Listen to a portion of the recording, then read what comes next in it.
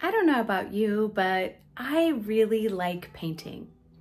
What I love about painting is the way that it transforms a space. The thing about painting though is that using a primer is really important. If you're painting a light color, you're going to use a light primer. If you're painting a dark color, like I've done before in the past, navy blue, you use a darker primer primers might seem unnecessary.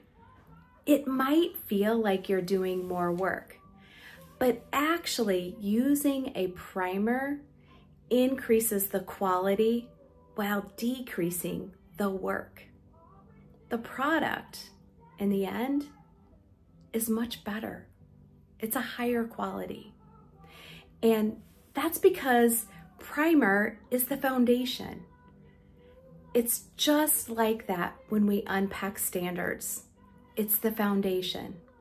It's the foundation for what our curriculum, bringing to life our instruction, and how our assessments look. It's the foundation for our PLCs, it's the foundation for MTSS, it's the foundation for all that we do in education. It's important because when we're unpacking standards, that foundation is the knowledge that's gained. Here's the deal. What we've seen is that it takes a lot of time to unpack the standards. And that's time that right now, many districts just don't have. And that's why we created the comprehensive standards guides for English language arts and for math. All of the standards are unpacked. They're vertically aligned K-12. There's a glossary K-12 for each of those content areas.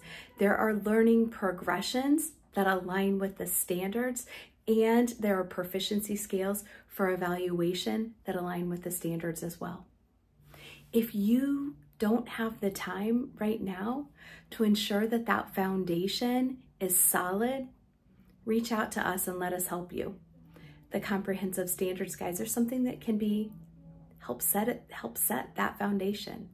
Have a great day.